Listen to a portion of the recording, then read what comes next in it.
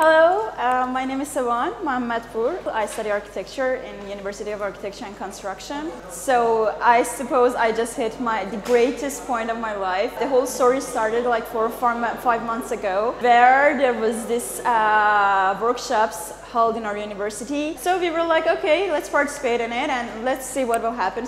Uh, I took part in it and uh, there was this is Ulkar Khanum who, thank you, I'm thanking her from here. Video uh, recording step was up. I didn't know what to say, nothing at all.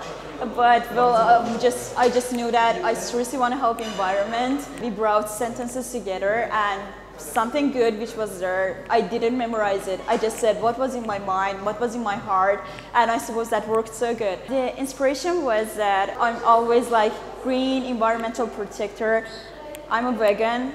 I'm just advertising to reduce the use of plastic bags. We all know how horrible is Earth's current situation and we have to help it with reusing everything. And water, sweet water, is the biggest problem right now. And rain is a big sweet water resource which we can reuse and use it as a technical water. And about my future, uh, I've always wondered since I was a kid to go to Oxford. Now I have the chance, I have the money to be a manager, successful manager, and also I can mention that uh, I'm helping environment. I can reach everything at the same time. I suppose I'm the happiest person right now.